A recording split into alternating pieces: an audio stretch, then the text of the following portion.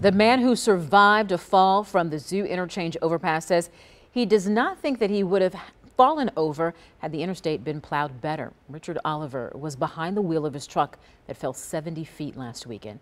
He tells our Stephanie Haynes that he was thinking right as he was going over the edge.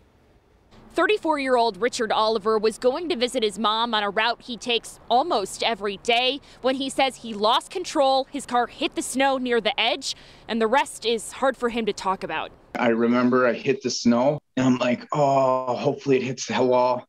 And it just kept going. And my brain was like, uh oh, that we're on a bridge. And I blacked out. And the last thing, the next thing I remember, smelling the airbag in the truck. He said he tried to crawl out the back of his truck, but four Good Samaritans immediately came running to help. Richard believes they helped save his life. Just amazing people because I see accidents all the time and people just drive right by and they don't care. He's in a lot of pain, but he was able to sit up in a wheelchair for the first time Friday next to his fiancee Candace at Froedtert Hospital. He said doctors put seven plates in his broken back and screwed his knee back together.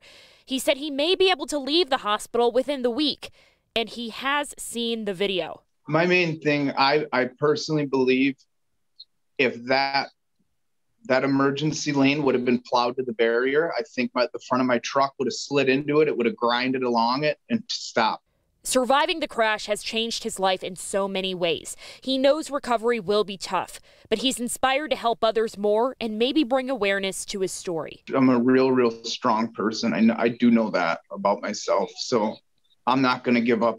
Richard says he might be in a wheelchair for about a year, so his fiance set up a GoFundMe to help with recovery and rehabilitation. We have that link up right now at TMJ4.com. In Milwaukee, Stephanie Haynes, TMJ4 News. Amazing, Stephanie. Well, we're also hearing the first 911 calls from that scene. Witnesses couldn't believe their eyes.